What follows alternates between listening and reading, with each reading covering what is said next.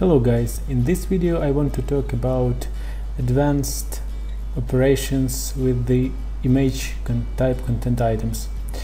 Uh, like so. For example, what we can do is select the content item from the uh, content panel and then we can as you can see edit image using the default application for example. This I have here paint. Save it and it will update in the editor. Uh, also we've added the replace image feature that only replaces the image itself from the image on disk and also we've added the save image as feature that allows saving the image to disk directly.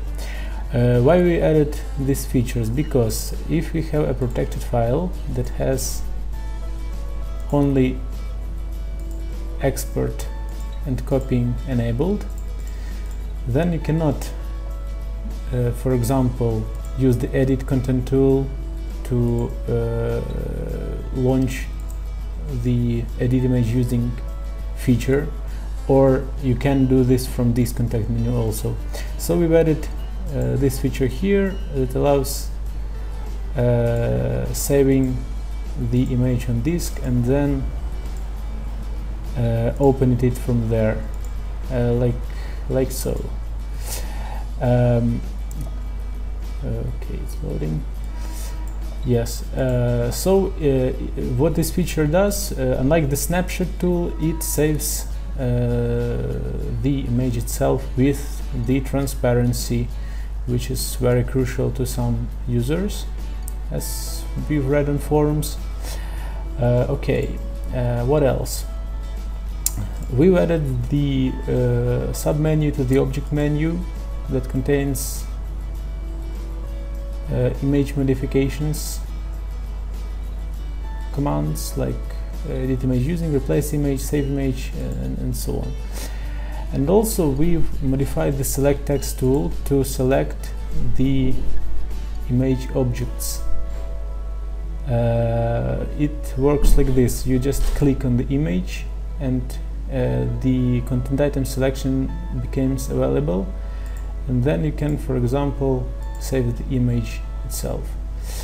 Uh, like you can do from this context menu here. Uh, we are still working on this so uh, these commands are disabled for now uh, but they will be uh, they will have the same state as the commands here uh, basically we tried not to change the uh, select text tool drastically so you can use it as you were using it before. But right now you can select the uh, single images objects like so and manipulate them. For example in, in this here uh, protected document you can do the same thing and you can export the images that you need. Uh, so yeah uh, please write comments below about whether you like this feature or not or some improvements that I can implement till the release. Ah and one more thing. Uh, we've in the case of OCR files we can select the text that is about the image so uh, the text selection is uh, has higher priority than the selection of the image itself. Uh, basically right now we selected the image.